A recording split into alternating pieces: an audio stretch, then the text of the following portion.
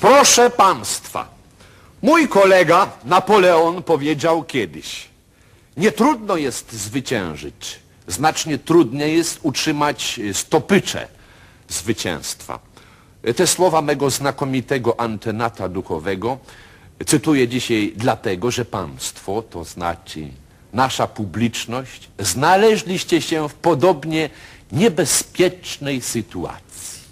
Już na początku sezonu nasza publiczność odniosła wspaniałe zwycięstwo w bohaterskim ataku, biorąc w jasyr nasze serca poprzez fortyfikację kasy, poprzez przyczółek mostowy Galerii Luksemburga. Dzielne wojska warszawskiej publiczności zdobyły tę oto widownię i trzymały ją w jasyrze przez dwa miesiące wraz z sercami naszymi.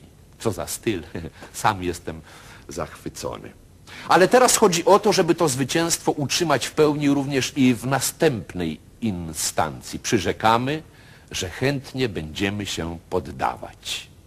Otóż z pierwszym występem jest tak. Każda taka debiutantka jest święcie przekonana, że cała publiczność przyszła tylko dla niej, aby ją usłyszeć i zobaczyć. Że w lożach siedzą sami hrabiowie i w ogóle baronowie.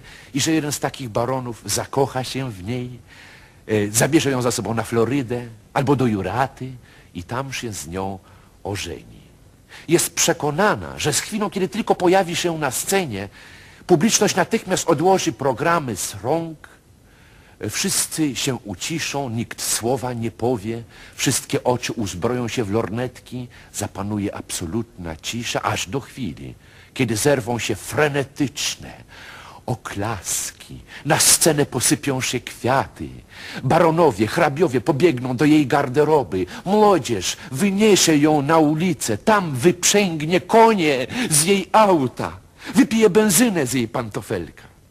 Proszę państwa, proszę teraz sobie wyobrazić, co dzieje się w duszy takiego dziewczęcia, jeżeli dzieje się inaczej.